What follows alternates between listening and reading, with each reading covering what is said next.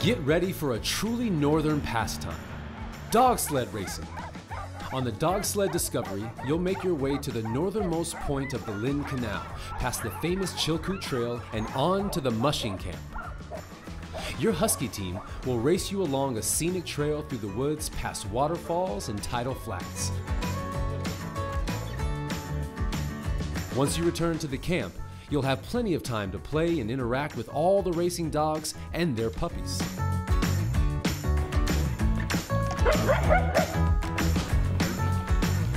And after a short discussion about the world famous Iditarod dog sled race, you'll be taken to our very own overlook of the beautiful Lynn Canal to snap a few pictures to bring home and remember your amazing time here in Alaska.